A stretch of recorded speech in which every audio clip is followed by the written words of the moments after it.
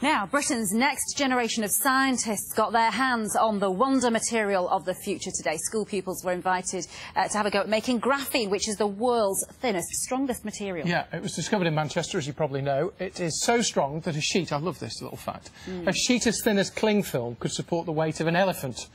Our environment correspondent Colin Sykes reports. A science taste today at the University of Manchester. It said these pupils will be children of the graphene age. But what is it? So we're going to start from pencil lead and we're going to make the thinnest material in the world, essentially. This is exactly how scientists at the university discovered the material, using sellotape to pick up graphite particles, then separating them to produce a thin sheet of incredibly strong carbon atoms. Each carbon atom here is the black dot, and then they're connected by these bonds and they're arranged in a hexagonal manner.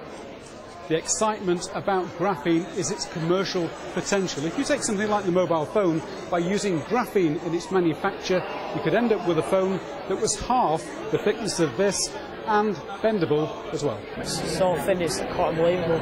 It looks quite thin and quite not, not really strong, strong enough to make things out of that. Experts say graphene could replace silicon as the raw material in computer chips. It's also a better conductor of electricity than copper.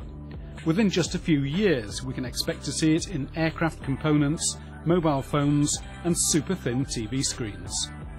Any field that you take graphene to, it seems to be doing better than what is already there. The government has pledged £38 million to the university to develop graphene. These children are likely to see it in numerous products of the future. Colin Sykes, BBC Northwest Tonight, Manchester. It's amazing, isn't it? Yeah. Now, uh,